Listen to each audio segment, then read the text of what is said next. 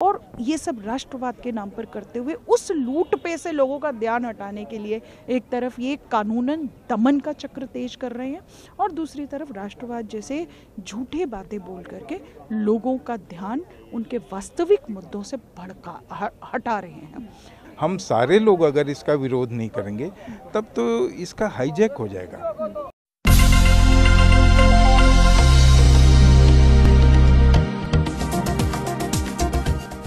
स्वागत है आपका जनहित आवाज़ में। मैं हूँ आपके साथ पूजा और आज यहाँ जंतर मंतर पर जो तमाम लोग एकत्रित हुए हैं, वो क्यों हुए मैं थोड़ा सा मैम से भी जान लूँगी, क्योंकि जिस तरीके से लगातार यू का गलत इस्तेमाल किया जा रहा है, प्रसाद की तरह बांटा जा रहा है यू तो उसी के तहत जो जी एन साईं बाबा हो, चाहे उमर खालिद हो, तमाम सरजिल इमाम हो, तमाम लोगों को ऐसे यू के तहत जेलों में भर दिया गया है। लेकिन बाद में क्या होता है तो उसी के लिए यहाँ पर प्रदर्शन किया जा रहा है। मैम सबसे पहले अपना नाम बताइए हमारे चैनल को।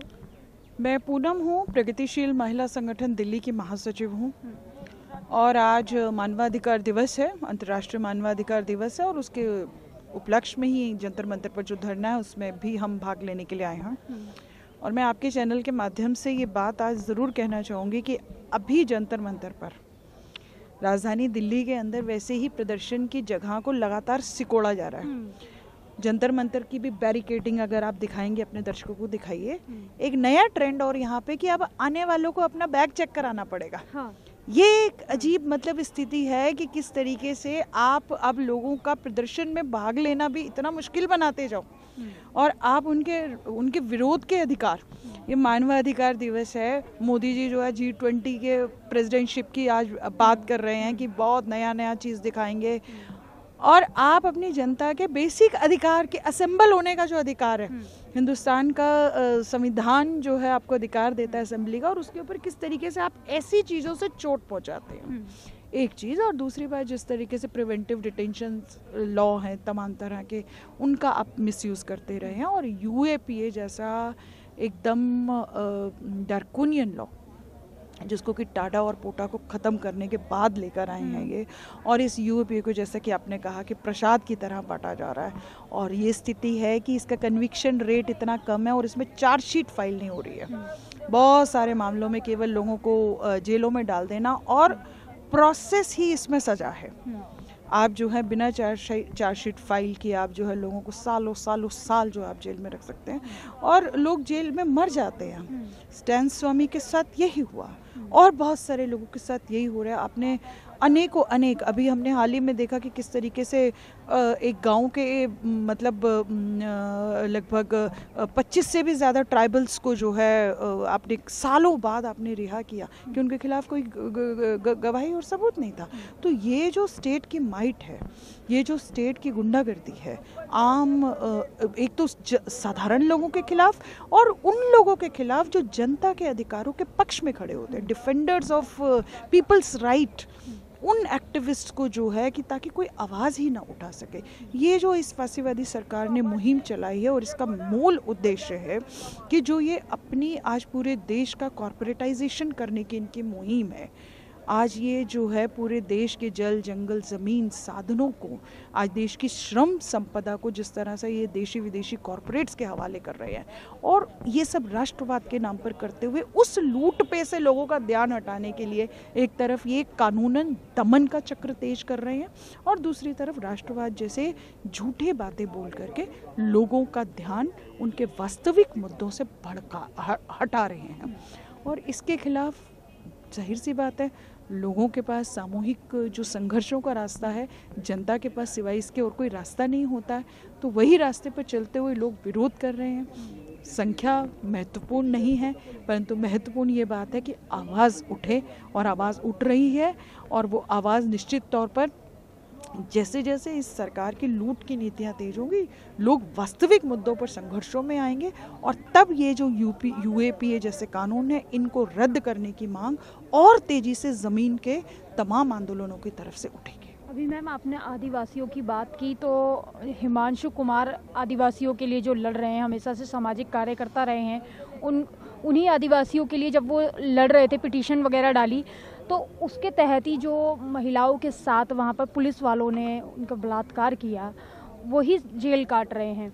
और जब वो उनकी आवाज़ उठाते तो उनके ऊपर पाँच लाख जुर्माना लग जाता है। लेकिन वहीं अडानी अंबानी के ऊपर जब भाग जाते हैं पैसा लेकर के, इस तरीके की सरकार का जो दमन चला रही है दमनकारी सरकार हो रही है तो ये कैसे आप लोग मतलब इसके तहत आप लोग बात करेंगे क्योंकि बात करने वाले को ही उठा लिया जा रहा है। देखिए यही यही इस फांसीवादी मुहिम की विशेष बात है और इसमें कई बार न्यायपालिका भी बड़ा विचित्र रोल अदा कर देती है। और ये हम तो लगातार देखिए रहे तीस्ता स्टील वार्ड के मामले में भी यही हुआ। हम्म, हम्म। और ये है कि उसके बाद फिर न्यायपालिका ने उसमें भूमिका भी अदा करी उनके बेल के मामले में भी। आ, तो ये तो है ही कि कॉरपोरेटाइजेशन की लूट जिस तरह से ये मुहिम और ज़्यादा बढ़ाएगी जल जंगल ज़मीन को जितना ज़्यादा ये तेज़ी से कॉरपोरेट के हवाले करेगी आज तमाम संस्थानों का संस्थानों का निजीकरण हो रहा है। आज लोगों की ज़रूरत की चीज़ें शिक्षा और स्वास्थ्य की सुविधाओं का निजीकरण और व्यवसायीकरण किया जा रहा है। तो इन पर से लोगों का ध्यान हटाने के लिए ये जो है एक तरफ़ दमन चक्र को अपना तेज कर रहे हैं और इसीलिए यूएपीए के जो भी बोलता है उसको आप यूएपीए के तहत अरेस्ट कर लेते हैं। तो ये तो चुनौती है और इसका रास्ता केवल एक ही है कि तमाम जन आंदोलन और वो मुहिम चलती भी हैं चल भी रही हैं देश भर के अंदर लोग लड़ रहे हैं देश भर के अंदर लोग सड़कों पर आ रहे हैं इनकी नीतियों का विरोध करने के लिए इनके दमन के हथकंडों का विरोध करने के लिए रास्ते अभी आप आंदोलन की तो बात कर रहे हैं आप कितने ही आंदोलन करेंगे लेकिन एक जो जनता का वोट बहुत महत्वपूर्ण होता है वो तो उन्हीं सत्ता की तरफ़ ही जा रहा है।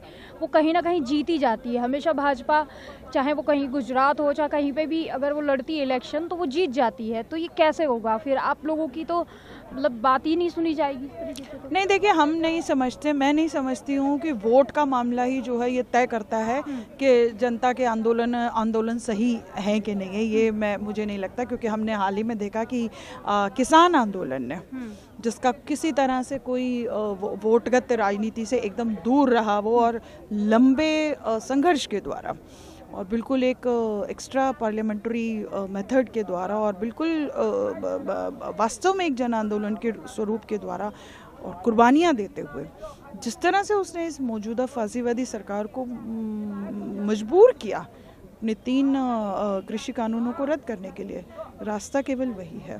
सवाल ये नहीं है कि चुनावों में आ रहे नहीं, क्योंकि हम तो मेरा तो हमारा तो ये मानना है कि आज बीजेपी जिन जिन दमनकारी कानूनों का इस्तेमाल कर रही है वो लाई गई तो कांग्रेस सरकार गई ही हमने तो देखा कि यूएपीए को जो है कांग्रेस सरकार ही लेकर आई। या जो पूरी कॉर्पोरेटाइजेशन की नीतियाँ हैं, उनको एलपीजी की नीति शुरू करने वाले मनमोहन सिंह और चिदम्बरम ही थे नरसिम्हा राव साहब के राज में। और ऑपरेशन ग्रीन हंट जैसी जन विरोधी जो पूरा हंटिंग ऑपरेशन है, जो पूरा ट्राइबल्स को तबाह करने वाला ऑपरेशन है, वो चिदम्बरम जी के राज में ही चला। तो नीतियों के ऊपर इनमें कोई फ़र्क नहीं है, सवाल केवल एक्सटेंट का है।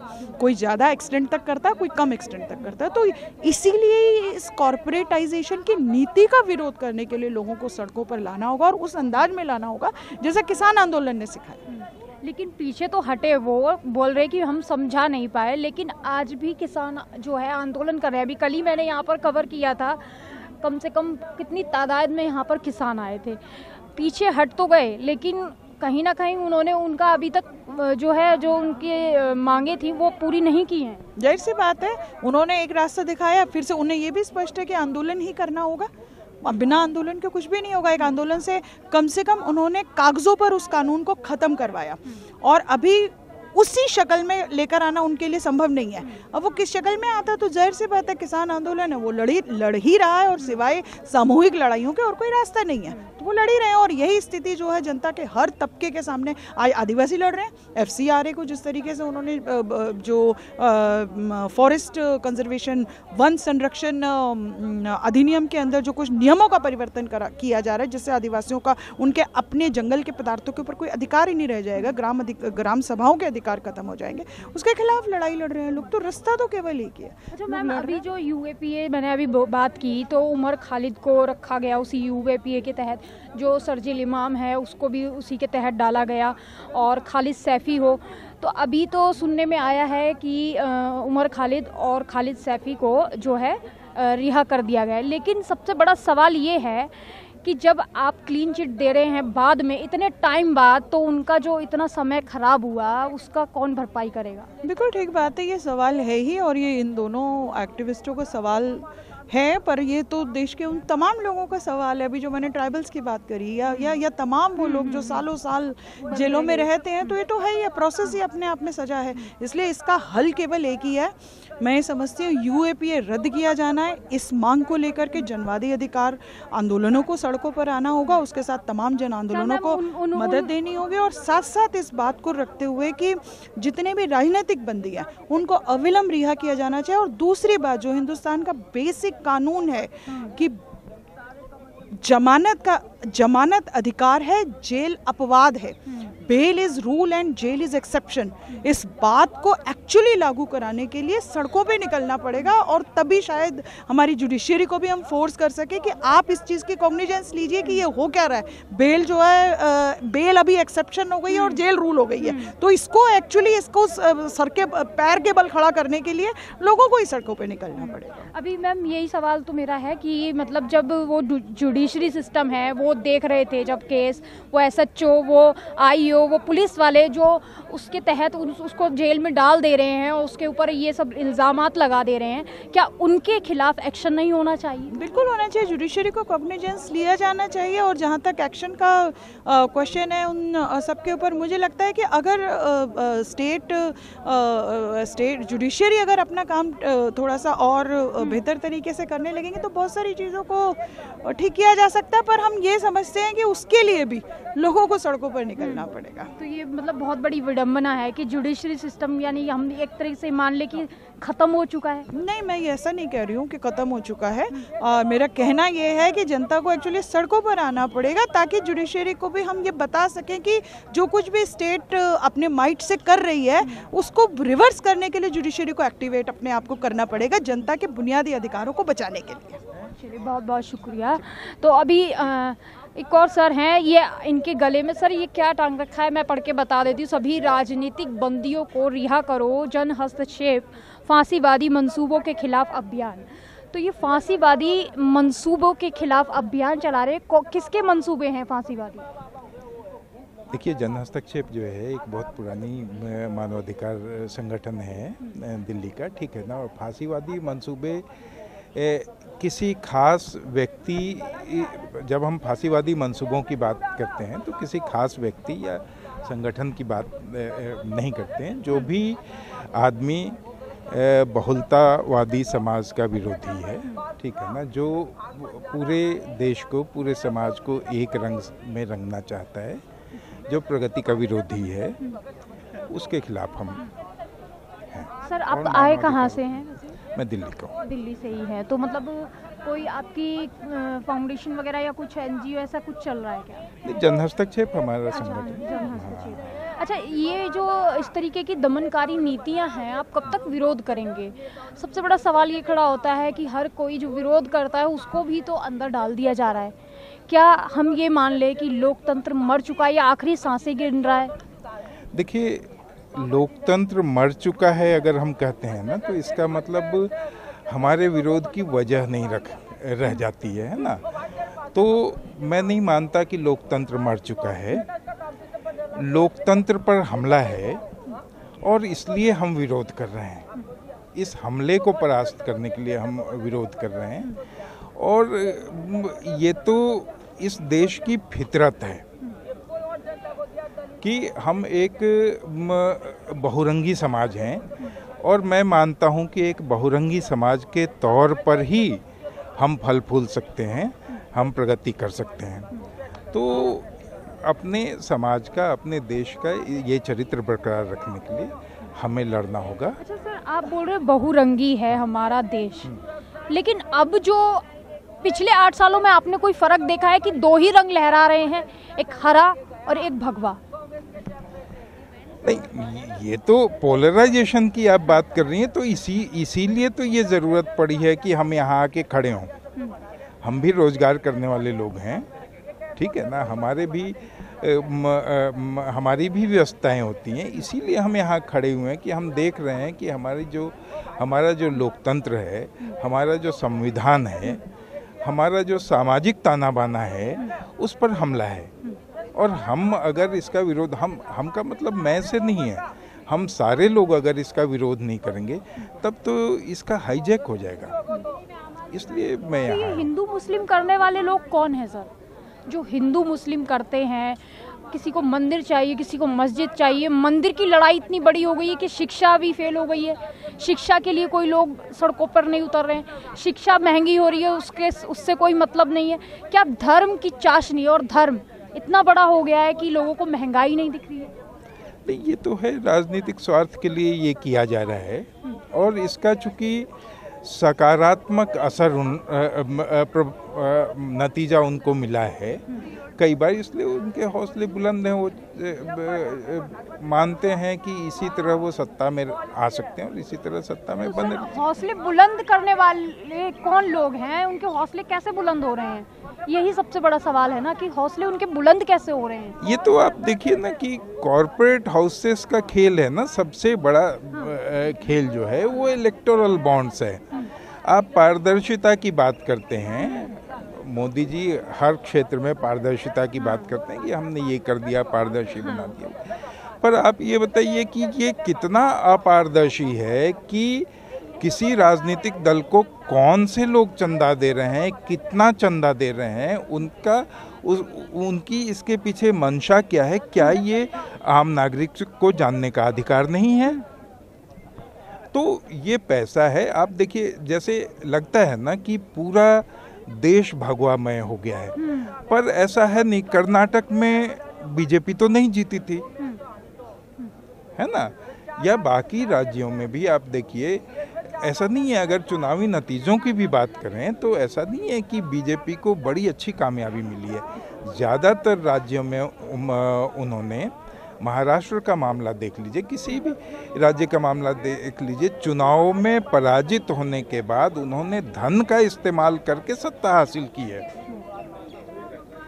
धन का इस्तेमाल करके। बिल्कुल। ये तो मतलब इतना एक ईवीएम ईवीएम भी एक जो है तो बता रहे हैं कि ईवीएम भी एक वो है जिससे वो जीत जा रहे हैं। क्या ईवीएम वाकई में ये देखिए मैं कोई टेक्नोलॉजी का आदमी नहीं हूँ तो इसलिए मैं ये नहीं कह सकता कि ईवीएम के ज़रिए धांधली हो रही। ये सवाल उठाए गए हैं और मुझे लगता है कि निर्वाचन आयोग को नहीं आप इस मानते कि बैलेट पेपर से हमारे देश में भी जो है चुनाव होना चाहिए? नहीं मैं इसके बारे में कोई राय इसलिए नहीं रखता ना क्योंकि मैं इसकी बारीकियों को नहीं समझ पाता। पर अगर संदेह उठाए जा रहे हैं तो निर्वाचन आयोग को कुछ ऐसा करना चाहिए कि संदेह दूर हो, और अगर नहीं संदेह दूर हो सकते तो उसको कुछ दूसरे तरीके के बारे में चुनाव। भाजपा भाजपा पर मतलब ये भी आरोप लगता है कि वो जातिगत जनगणना से बचता है। क्या मतलब वाकई में है ऐसा कि वो जातिगत जनगणना अगर करा लेंगे तो वाकई में उनका जो स्तर है, वो पता लग जाएगा?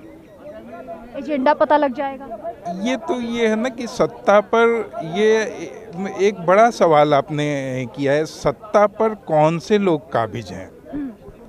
और किस आधार पे काबिज हैं? कुछ छुपा के का म, म, अ, अ, के काबिज रहना आसान होता है। अगर आप चीज़ों को बांट देंगे ठीक है ना अगर आप समुदायों म- विभाजित करके विकास को देखेंगे तो बहुत सारी असलियत सामने आ जाएगी। तो इसलिए वो नहीं चाहते कि इस ढंग से कोई गणना हो, चाहे वो शिक्षा के बारे में हो, चाहे वो आर्थिक विकास के बारे में हो, चाहे वो सामाजिक विकास के बारे में हो, वो नहीं चाहते कि इस ढंग से देखा जाए कि मुसलमानों में शिक्षा की स्थिति क्या है दलितों में शिक्षा की स्थिति क्या है? आदिवासियों में शिक्षा की स्थिति क्या है? पिछड़ों में शिक्षा की स्थिति की क्योंकि उससे बहुत सारी चीज़ें स्पष्ट हो जाती हैं और वो इसी चीज़ को छुपाना चाहते हैं।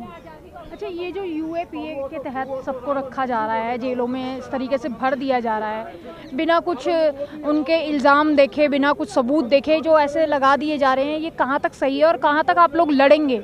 जी एन साईं बाबा के लिए भी हाई कोर्ट से बोला गया था रिहाई के लिए, लेकिन अभी भी उन्हें छोड़ा नहीं गया है। तो तो है ही ना, वो सरकार, देखिए मुझे लगता है कि यूएपीए जो है, वो न्याय की अवधारणा के ही खिलाफ है। कोई ऐसा कानून कैसे हो सकता है जिसमें बितना अभियोग लगाए, आप किसी आदमी को इतने लंबे समय तक कैद में रख सकें? भाई जमानत तो सामान सामान्य व्यवहार है ना।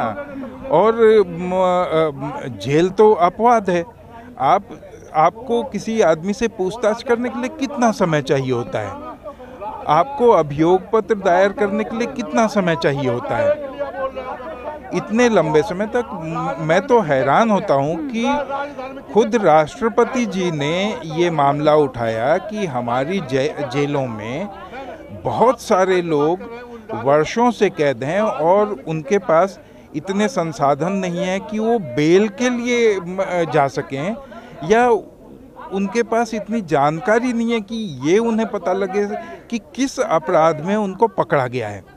तो जब इस देश का सर्वोच्च नागरिक, राष्ट्रपति जी ही ये सवाल उठा रही हैं तो क्या सरकार को इस पर विचार नहीं करना चाहिए? बहुत बहुत शुक्रिया। तो ये तो विडम्बना है, आप देखिए कि द्रौपदी मुर्मू भी जो है, इस तरीके के सवालों के लिए जो है, बोली हैं। उन्होंने कहा है कि भैया, जिन, जो लोग हैं, जो आदिवासी लोग हैं, चाहे जिनके ऊपर यू ए लगा है, उसके तहत उनको जेलों में भर दिया गया है। ये बहुत बड़ी विडम्बना है। तो यहाँ पर जो तमाम लोग आज एकत्रित हुए, वो इसीलिए हुए हैं कि चाहे जी एन साई बाबा हो, उमर खालिद हो, सरजिल इमाम हो, और भी ऐसे एक्टिविस्ट हैं जिनके नाम अभी मैं यहाँ नहीं बता पा रही हूँ। उनको यूएपीए के तहत जेलों में डाल दिया गया है। लेकिन सबसे बड़ा सवाल ये है कि क्या उन्होंने उसके खिलाफ सबूत देखे? क्या उन्होंने ये सब देखा कि वाकई में वो लोग थे? और उसके बाद वर्षों बाद उनको जेलों में डालने के बाद बता दिया जाता है कि भैया इनके ऊपर कोई इस तरीके का इल्ज़ाम नहीं है और फिर छोड़ दिया जाता है। आखिर उसकी भरपाई कौन करेगा? जो इतने टाइम उनका करियर ख़राब हुआ, इतने टाइम उन्होंने जेलों में काटा तो इसकी भरपाई कौन करेगा? सबसे बड़ा सवाल सत्ता और जुडिशरी सिस्टम के ऊपर है। कौन भरपाई करेगा? इसी के साथ देखते रहिए, जनित आवाज़ मेरे सहयोगी धर्मेंद्र के साथ में पूजा, जंतर मंतर, दिल्ली।